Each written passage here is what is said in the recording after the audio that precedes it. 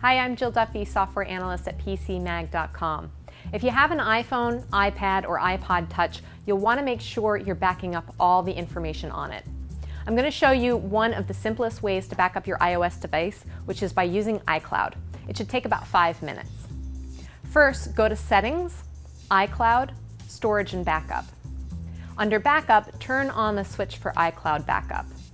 Now go back one screen and turn on or off the data you want backed up from the selections. Now you'll notice that not all of your apps show up here. It's only Apple apps.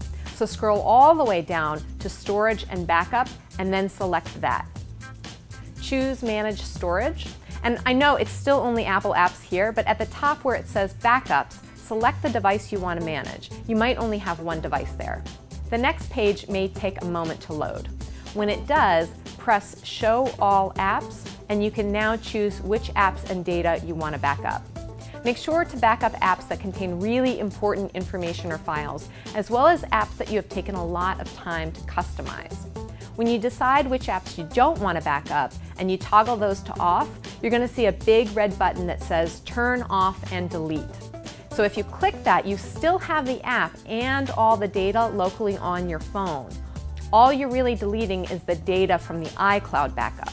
Now that you've set up your iCloud backup, connect your device to a Wi-Fi signal, plug it in, and leave the screen locked so iCloud can make a fresh backup. For more iOS tips and advice about backing up, visit PCMag.com.